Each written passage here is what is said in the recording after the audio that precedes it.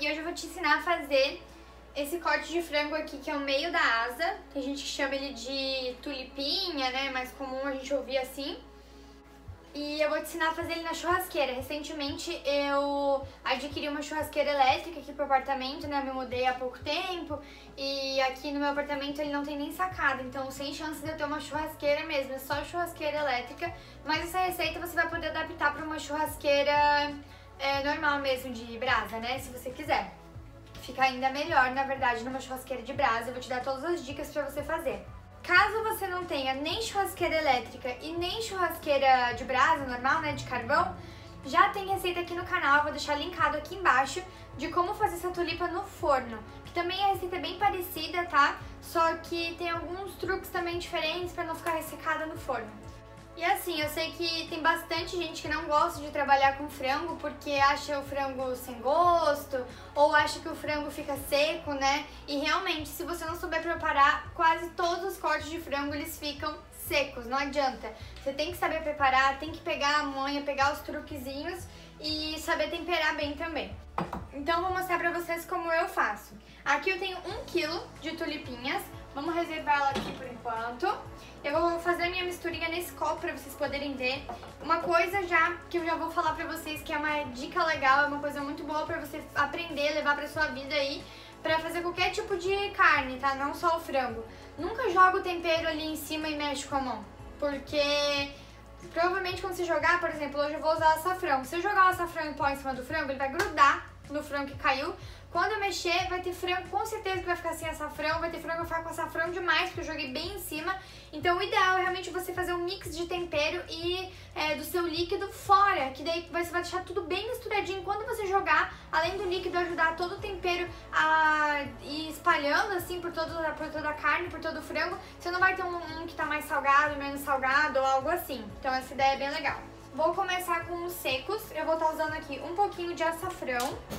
Pouquinho, porque o açafrão ele é um tempero bem forte e eu não quero que domine o gosto. Ó, meia colherinha dessa de sobremesa. Vou estar tá utilizando também meia colherinha de sal. Pimenta do reino. E esse aqui pra mim é o pulo do gato. Se você ainda não conhece essa especiaria, é a semente de coentro. Sabe o coentro, aquela é, que é bem parecido com salsinha, mas tem um gosto bem mais forte, bem particular. Consomem muito no Nordeste. Não sei se vocês já conhecem, né? Principalmente quem é daqui dessa região mais sul aqui, a gente não tem tanto hábito de consumir, né? Eu gosto bastante, mas muita gente foge da semente de coentro porque não gosta do coentro e acha que tem alguma relação. A relação, na verdade, é só do nome mesmo, porque o gosto é totalmente diferente. A sementinha de coentro, ela tem um gosto muito suave e ela, nossa, na minha opinião, assim, né, eu só, só uso semente de coentro em frango porque eu acho que traz, assim, um refrescante, parece, sabe, no, nos pratos. É muito gostoso mesmo, tem que experimentar. Não tem como, eu, não tenho, assim, palavras pra explicar como que é o gosto. Mas combina muito com o frango e se você não gosta de coentro mesmo, né, a folhinha não se preocupe, isso aqui é outro gosto, sabe? Você tem que experimentar pra ver se você gosta, né? Eu coloco bastante, tá, gente? Que eu adoro, adoro com frango. Isso aqui pra mim faz toda a diferença nessa receita, tá? Tipo, é um outro gosto, assim, a tulipinha com semente de coentro. Então aqui já vamos dar uma misturada nos nossos secos. Vou estar utilizando shoyu, então uma base de shoyu que vai dar uma cor bem bonita pra ele, um sabor também. Vocês viram que eu coloquei pra um quilo só meia colherzinha de sobremesa de sal? Porque o shoyu ele já é salgado, você tem que cuidar pra não salgar as tulipas, né?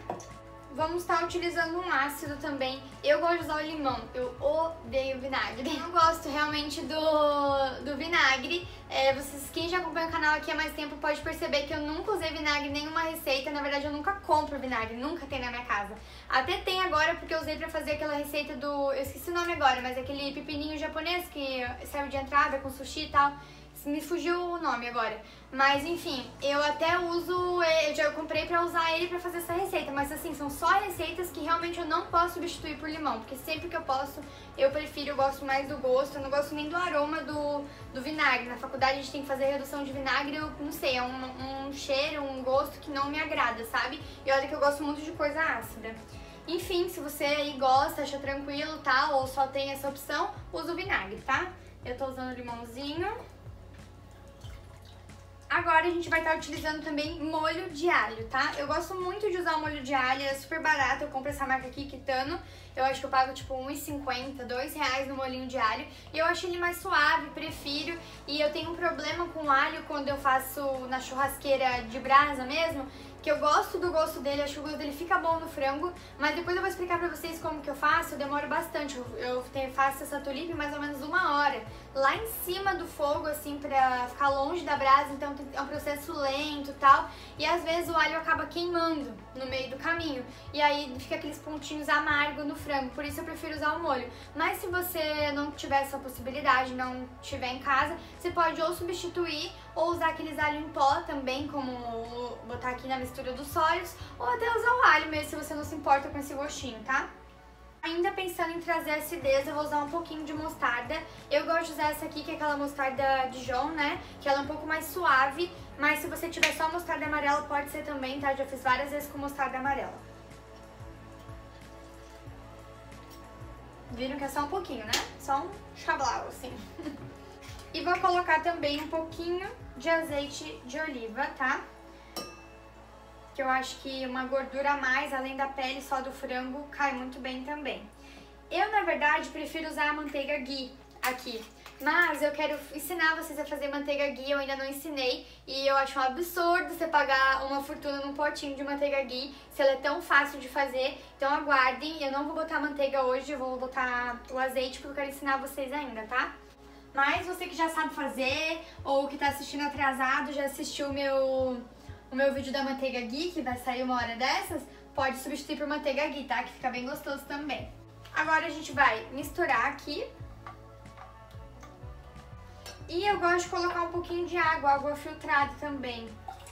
Porque a gente tá usando aqui bastante tempero forte, né? Açafrão, tudo. E eu quero que fique um molho suave, gostoso. Então um pouquinho de água filtrada. Então agora a gente vai passar o tempero aqui pro nosso frango. O ideal é que você deixe o máximo de tempo possível, tá? Eu normalmente faço num dia pra comer no outro dia. Então, tipo, hoje no caso eu tô fazendo de manhã e vou comer à noite. Mas normalmente quando eu lembro, quando eu consigo, eu pego num dia, assim, à noite, e no outro dia de janta que eu vou usar. Porque quanto mais tempo ele fica no tempero, mais gostoso ele fica. Se você estiver usando um bowl, assim, que nem eu tô, sabe que o tempero ele vai se concentrar no fundo. Então quem tiver aqui em cima não vai pegar tanto gosto do tempero. Por isso é legal que a cada umas 6 horas, ou pelo menos uma vez, você venha e misture, assim, né? Você puxe os frangos de baixo, deixa por cima e joga aqueles que estão em cima pra baixo para pegar bem o tempero. Se você puder temperar ele numa tigela grande, assim, é melhor ainda, que daí vão ficar tudo com bastante tempero, assim. E... Por que eu tô com o pincel na mão?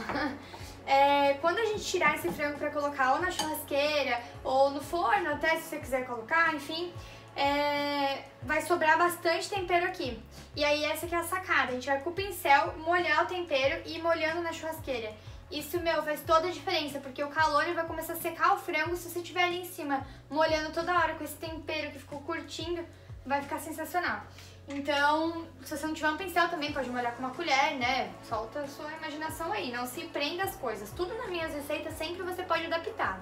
Difícil, a receita que tem que ser tudo certinho. Normalmente a confeitaria, a panificação, que você tem que pesar, ver tudo certinho. Essas coisas, tempero, você pode já substituir, fazer esse mesmo tempero para fazer uma sobrecoxa, uma coxinha da asa. Então, é tudo bem adaptável, tá? Vamos misturar o nosso tempero aqui.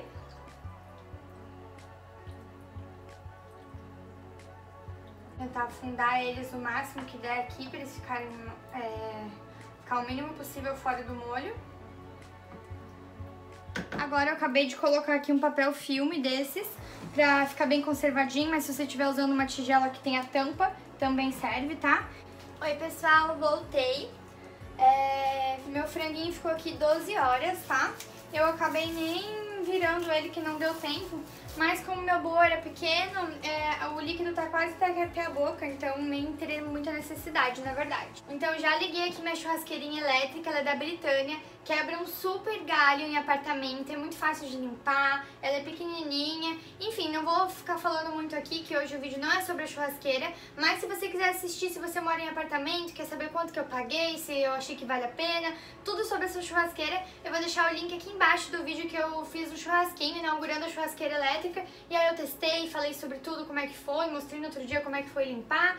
Então se você quiser assistir, tiver interesse em comprar, adquirir uma dessa, já adianto que eu gosto muito dela, mas se você quiser detalhes, vê o vídeo aqui embaixo, tá? tá no, vai ficar no link na descrição. O que eu fiz? Eu coloquei aqui, ó, na posição mais alta, porque eu não quero que fique que faça muito rápido, assim, que ela fique com aquela pele esturricada.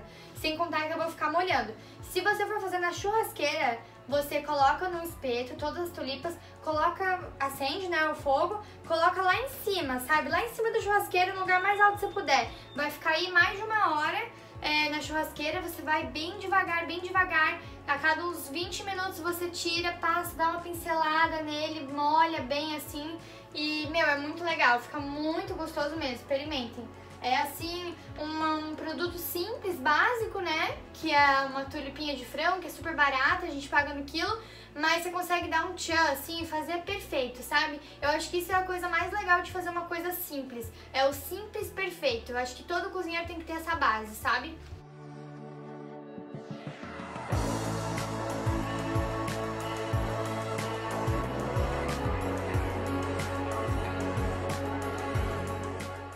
Tudo aqui e olha o tanto de molho aqui de caldo que sobrou, tá bem cheinho o bowl. Esse bowl aqui tá pela metade praticamente de caldo, então vai dar aqui por mais de 40 minutos a gente ficar molhando bastante. E quanto mais molhar, mais suculento vai ficar, mais gostoso vai ficar, ó. E a gente vem assim, molhando, molhando. E esse franguinho daí vai ser feito lentamente. A pele dele vai ficar super dourada ele vai ficar super suculento. E aí aquele negócio que eu falei pra vocês, o tchan de uma coisa simples, barata, ficar maravilhosa. ficar o melhor do mundo, como eu digo sempre. E meu namorado falou pra mim esses dias, ficou me zoando, que quase toda minha receita falou, ah, hoje eu vou fazer o melhor feijão do mundo, o melhor arroz do mundo. Que ano ele falou que eu não sou muito modesta. Mas o que, que, que eu vou fazer, né? Eu gosto muito da minha comida, graças a Deus, né? Porque eu preciso comer ela todo dia. Eu falo isso quando eu acho que o meu é o mais gostoso dos que eu já comi até hoje. Então, eu nunca comi um arroz mais gostoso que o meu em algum restaurante. Então, por isso que eu não falo que eu falo que o meu arroz é o mais gostoso do mundo. Eu nunca comi um brownie mais gostoso que o meu em alguma confeitaria, alguma padaria. Por isso eu falo isso, sabe? Mas se um dia eu vier comer o melhor, eu vou, vou tirar esse título de mim. Mas as tulipinhas é a mesma coisa. Eu dificilmente como tulipinha, na verdade, fora, né? É mais em churrascaria, essas rodízios, assim, né? Que daí às vezes vem uma linguiça, uma tulipinha, a gente prova. E normalmente tá mal feita, né? Tá seca, tá meio queimadinha. Então, até hoje é o melhor do mundo. Mentira! Da minha madrasta é melhor que o meu, tá? Eu aprendi inclusive essa receita com ela, dei uma adaptada um pouco aí nos temperos, é, algumas coisas que ela não coloca, eu coloco. Mas o dela é mais gostoso que o meu, admito. Churrasqueirinha é uma beleza que você faz o churrasquinho em casa, em apartamento, em tipo, um ambiente pequeno, fechado e fica com gosto de churrasco e não fica com cheiro de churrasco na casa, sabe? Não fica com fumaceira, cheiro nas roupas, nada, é muito prático.